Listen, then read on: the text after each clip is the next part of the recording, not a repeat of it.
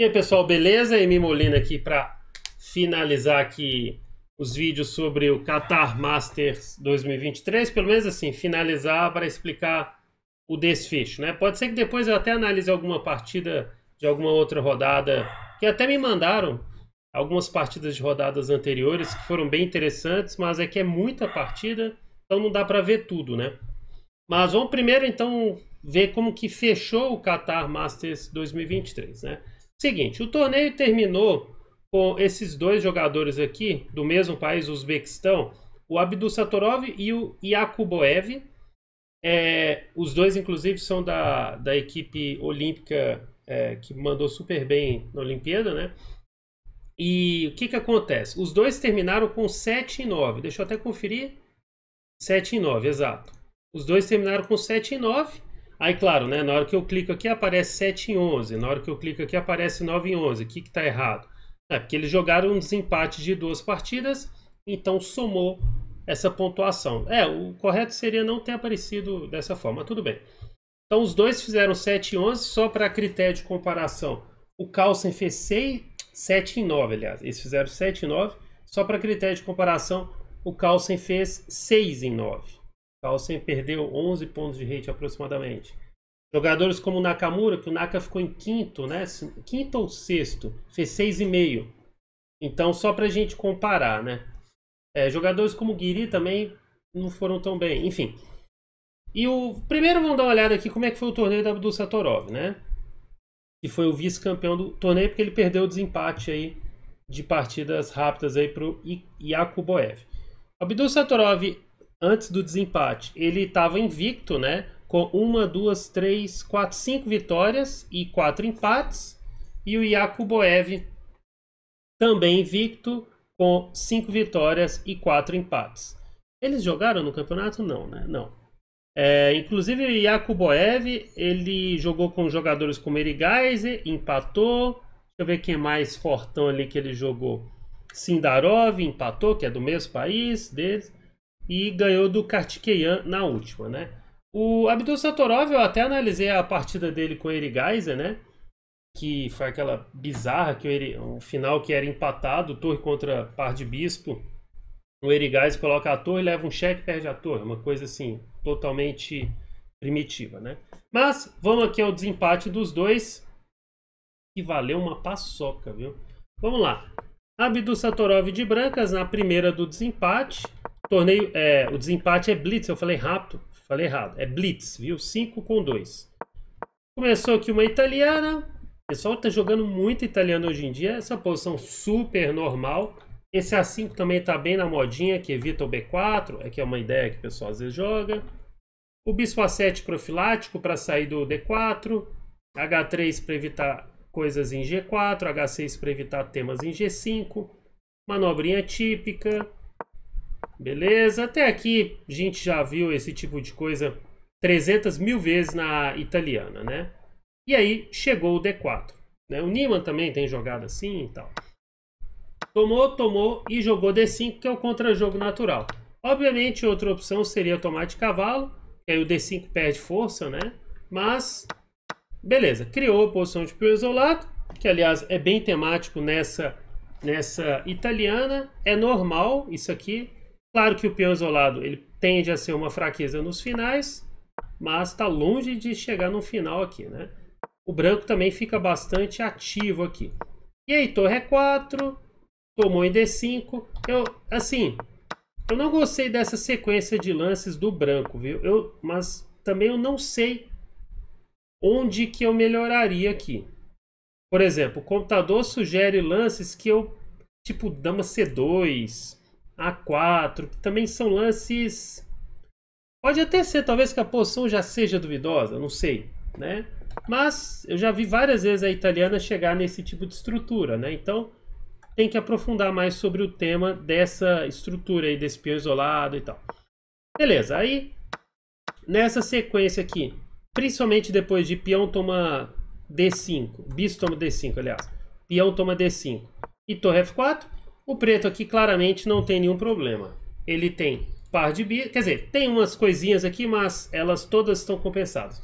O preto tem par de bispo, os dois têm peão isolado, Esse ataque à dama é fácil de resolver, tanto que ele jogou dama G6, propondo a troca de damas. E beleza, chegou nesse cenário, trocaram tudo. Isso aqui, na verdade, estava caminhando para o empate, né? Tipo, também não vejo o preto ganhando essa posição, né? Lógico, no Blitz dá para acontecer qualquer coisa, né? Mas se analisando matematicamente a posição, isso aqui era um cenário de empate. Até dá para pensar, pô, isso aqui vai empatar fácil, né? É, mas aí o Abdul Satorov vai começar a fazer uns lances aqui para forçar muita barra. O torre B3 está correto, ele está tentando ganhar o peão de B7. Depois, é, aquele, o correto seria bispo F4, talvez para plantar o bispo em E5, e essa torre pode ficar perambulando na terceira fila. Mas tudo bem, a posição ainda não está, não tá, vamos dizer assim, uh, o branco ainda não estragou o suficiente. Mas aqui ele vai começar a se enrolar na sequência. Beleza, já começou que, que tá abrindo demais para o par de bispo. Isso é sempre perigoso. Beleza, jogou cavalo C3. Aqui o melhor era cavalo E3, que já não é fácil fazer, mas ataca o bispo. E fica muita peça, muito peão caindo aí. Mas tem uns temas táticos aí que justificam o cavalo E3. Jogou esse. Aqui ainda deixou passar um simples G5. Simples, né? Entre aspas, né? Tudo aqui é meio complicado, na verdade. Sem tempo, né? É, o G5 era bom pra caramba, ganha espaço na ala da dama, mas tudo bem. Aí, beleza, a posição ainda tá meio balanceada, né? Aqui ainda vai ter um momento que eles vão igualar. Aqui acho que tinha que jogar cavalo D1, ameaçando o peão de A5 e preparando o bispo C3.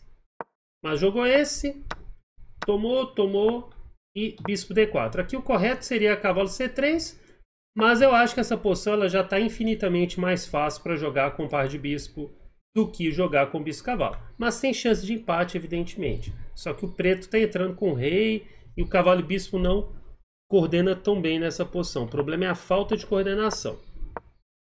E aí aqui eles vão entrar um pingoléu louco aqui, né? E tipo, aí aconteceu umas penduradas aqui. Em resumo, se enrolou todo, né? O branco e agora está totalmente perdido, levou bispo H3, ou cai o cavalo, ou cai G4. E aí a casa caiu aqui de vez e perdeu essa primeira partida. Agora tem peão passado distante, o final de bispo de mesma cor vai cair mais um peão. Aqui, por exemplo, não pode jogar ré F4 para tomar em F5, que leva bispo C7, troca os bispos e ganha o final de rei. E aí, dois peões a Aqui, é, ele jogou esse, mas abandonou, eu acho.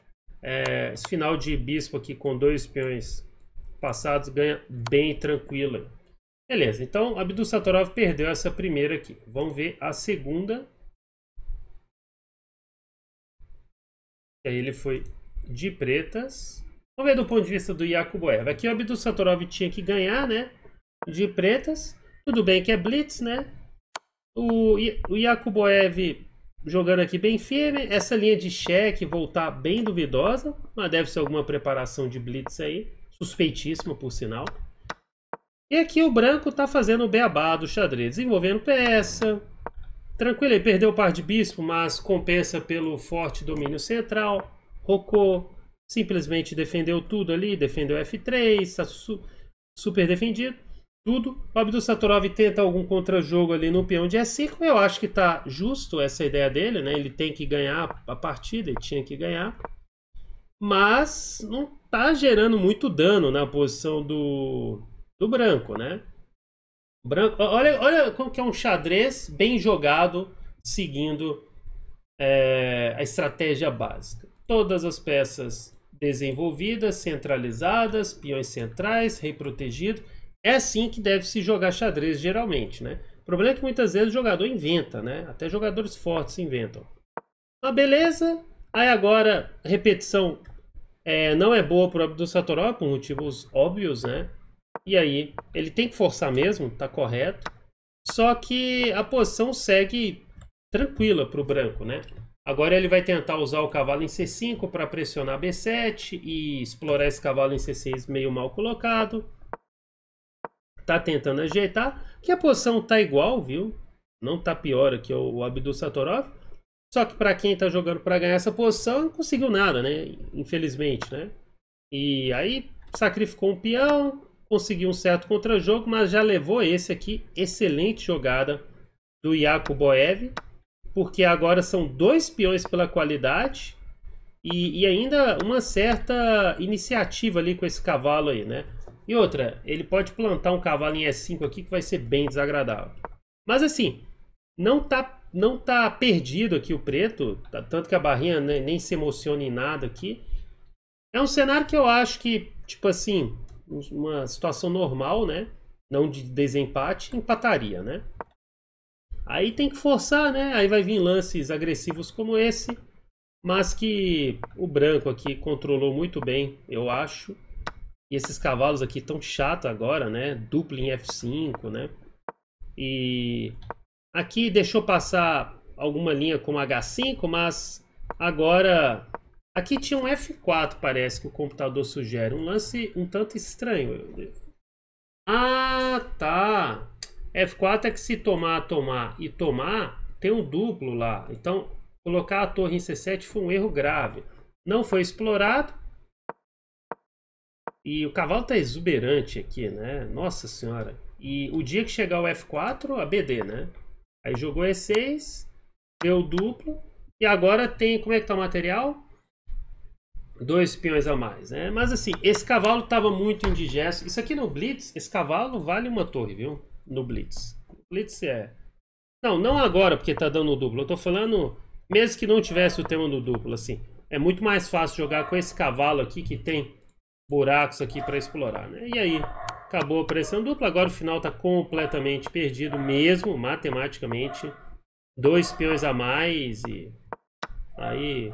Ele nem quis mais jogar, é, não faz sentido mais ficar jogando uma posição dessa que você tem que ganhar de pretas, né?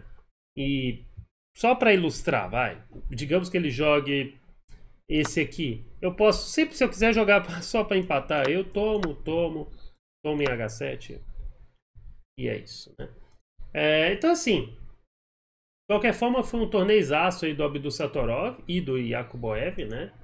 É, acho que a principal decepção do torneio, obviamente, foi o Carlsen, né? Fez 6 em 9. Mas, de qualquer forma, é um torneiaço aí. Pra... Sempre bacana acompanhar esse Qatar aí. E vamos ficar de olho aí em outros eventos também bacanas aí pelo mundo. Então é isso aí, pessoal. Não esqueça de se inscrever no canal, acionar o sininho, comentar e compartilhar. É nóis. Valeu, abraço.